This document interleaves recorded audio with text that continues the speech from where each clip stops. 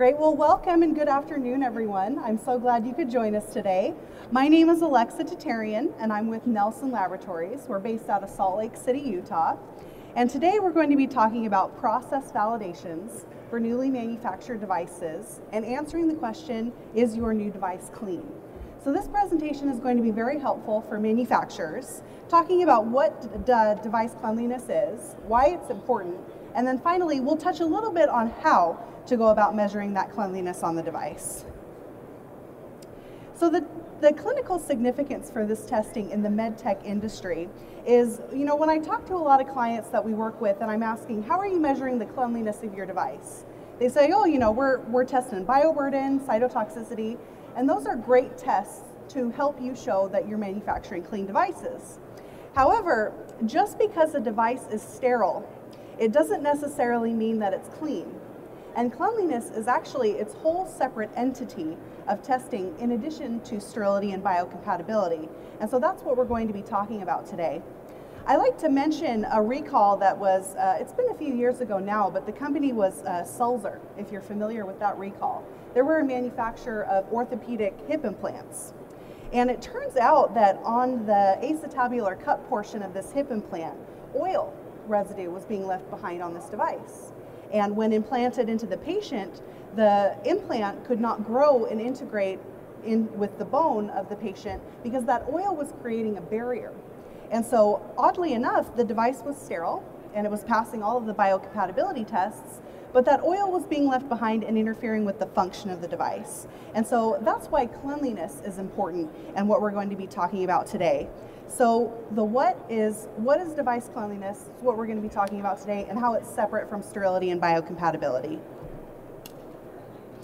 The standard information for this testing, uh, it's a GMP or good manufacturing practice for manufacturers to have procedures in place for the use and removal of manufacturing material. There's also an ASTM standard F2847 that we reference that lists a wide variety of test options available to measure device cleanliness. There's also a working document that ASTM has right now that's a new guide for validating cleanliness for medical devices. And this is going to be coming out in the very, very near future.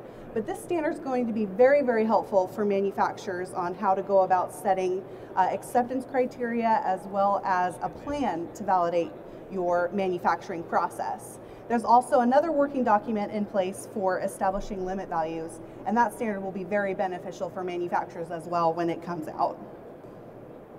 So from a regulatory perspective, we talked about recalls earlier. You know, recalls are very important to avoid for manufacturers. And there could be liability from these residues being left behind if they were introduced into the patient to cause an adverse effect. We've also seen a, a high increase in awareness on good manufacturing practice audits from regulatory reviewers, including FDA. We're seeing FDA uh, require manufacturers to have this data on file and be asking for it more and more often. And so we have seen definitely just an overall increase in awareness on cleanliness uh, data on file during audits. And so why is this testing important? It's important for patient safety as well as regulatory compliance. This is a mock manufacturing practice um, up on the screen. And this would be, you know, it's just supposed to represent a manufacturing process. And whatever comes in contact with the device should be reduced or removed during cleaning. And so the machining process, you know, maybe there's an oil that's used there that could be left behind. Deburring is a step where it smooths rough, rough edges on devices. So maybe some particulates could be left behind. You know, during a polishing step, maybe there's a polishing compound used there. Uh, in any rough cleaning steps, maybe water's introduced. That water can have microbiological contamination, potentially heavy metals that are introduced. Passivation, perhaps nitric, citric acid residuals could be left behind. If any detergents are used or under other cleaning compounds, these could also be left behind. And so to walk through your process like this and see what is introduced, you want to make sure that these residues are either removed or reduced as best as possible through this cleaning validation process. And so looking at your process, seeing what comes in contact with the device, you want to make sure that these are removed during cleaning.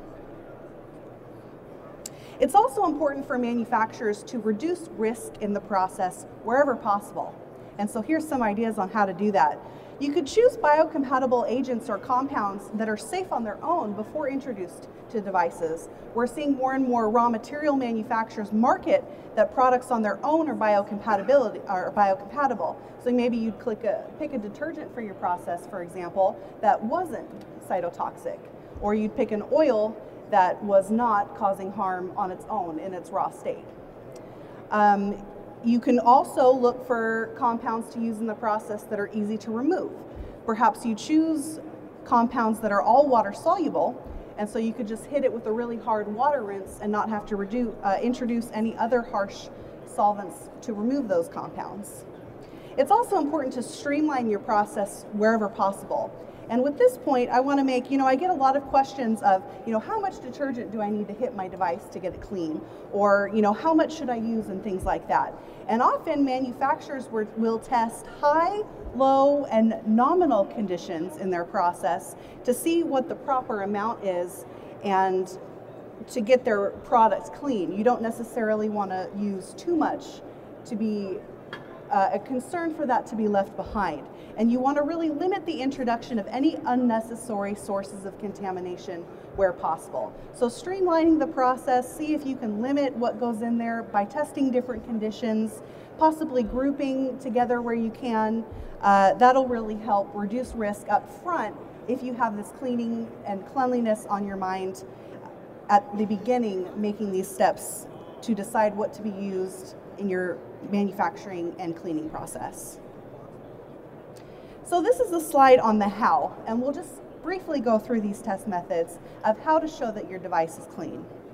And we'll go through just a couple of these test options fairly quickly, but there's a gravimetric extractable residue test. This test quantifies surface residues such as oils, lubricants, detergents, really anything that's left behind on your device on the surface and this test reports an overall weight of residue that can be combined into milligram or microgram per device or centimeter squared if you take into account surface area. There's total organic carbon or TOC, another great test to show surface re residue that is water soluble as well as organic carbon based. A lot of detergents and compounds used in the cleaning process fit into this category and make TOC a good test to include in the plan. There's a detergent residual test that's by UV-Vis, ultraviolet visible spectroscopy, that can quantify the amount of detergent left behind on the device. Particulates is also a good test to quantify insoluble debris. Cytotoxicity is a great test. We talked about it earlier. Can help you show if those residues are cytotoxic. These, these tests together can really show a comprehensive view of cleaning. There's also bioburden to quantify or get a colony forming unit counts of your aerobic bacteria and fungi on the device, as well as bacterial endotoxin, quantify the gram negative bacteria residues that are present on the device. And so you'll, you'll see here we have some tests to quantify as well as cytotoxicity and the tests to look for microbiological contamination. So really all of these tests together give you that comprehensive view where maybe Cyto on its own will give you a good indication of cleanliness, but perhaps isn't the only test that you need to perform. So let's talk a bit about acceptance criteria and how to, how to set this for manufacturers. It could be an option to use positive controls or unclean devices. Hopefully you see a reduction in residue from your unclean to clean devices, and this can help you show that your devices are clean. Historical data, we work with a lot of clients who start trending their data. A lot of these devices are actually on the market before they're asked for this data in an audit or something like that. And so they'll go and trend that data and then set alert and action levels after they observe the levels of residue that are coming back on their devices.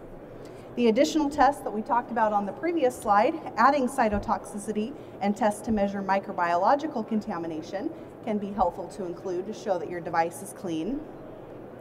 And it's also been a trend to compare the test data to toxicological data on those compounds. So say you do have a detergent in your process, perhaps previous data has already been studied about harmful levels of those of that detergent and you can compare that to the quantitative data found during testing and make some sort of assessment if the detergent at that level was to be left behind if it would be safe or not. To touch quickly on routine monitoring, you know, it's important to have that initial validation on file, but it's equally important to set routine monitoring and steps to monitor your cleanliness in manufacturing. Schedule weekly, uh, schedule routine monitoring. Often you start uh, more frequent at first, maybe go weekly, and then as those levels are coming back acceptable, move to monthly, quarterly, and so on after, after you have established that initial acceptance criteria. And then continue to control that process by setting alert and action levels. For example, with cytotoxicity, a two would be passing, but perhaps that would be an alert level for some people, and a three would be failing, which would then require action. So something like that. It's also important to validate a change. Anytime a change is made, a change to the device, a change to the process, a change in location of manufacturing, anything that's changed should be evaluated and then test data can help you decide whether you accept or reject that change. Also with routine monitoring, you're monitoring your whole manufacturing process and many of the equipment and the machines that you're working with will need maintenance, uh, cleaning themselves on the equipment. Maybe it's time to change out the equipment. If you're doing this routine monitoring and measuring these residual levels frequently, that can also help you, you know, monitor your whole manufacturing process and see when it's time to change change out equipment and things like that to make sure that you're manufacturing clean and safe devices. With sampling plan, you know, it's not often feasible for manufacturers to test every single device that they manufacture. And so it's okay to group when possible. Group uh, worst case, maybe you have a most difficult to clean device and maybe you'll choose that for the validation. Perhaps you have some residuals that are of concern to you and use the process that has those residuals that could be left behind. Also grouping together material types. Perhaps you manufacture a stainless steel or titanium devices and maybe you can have a metal group and keep polymers separate uh, grouping with material types, uh, group similar processing. If similar compounds are used in different processing, perhaps you could choose the worst case process for the validation. Also, you can possibly group similar patient contacting devices. You'd probably treat a device with cerebrospinal fluid contact much different than something with just external skin contact. And so grouping wherever possible is definitely acceptable for this type of testing to try and reduce the burden for manufacturers.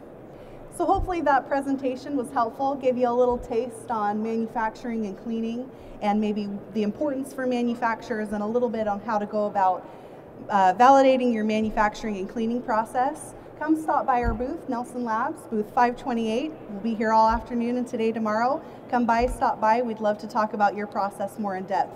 So thank you so much for coming today.